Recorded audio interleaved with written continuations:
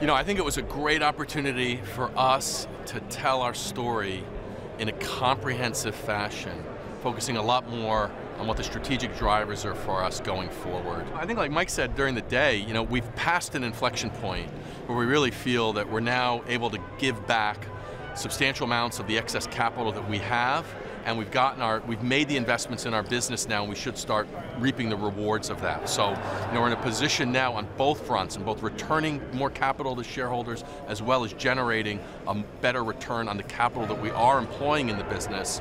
We're at a point now where we should start harvesting both of those. This bank looks nothing like what it was just after the crisis.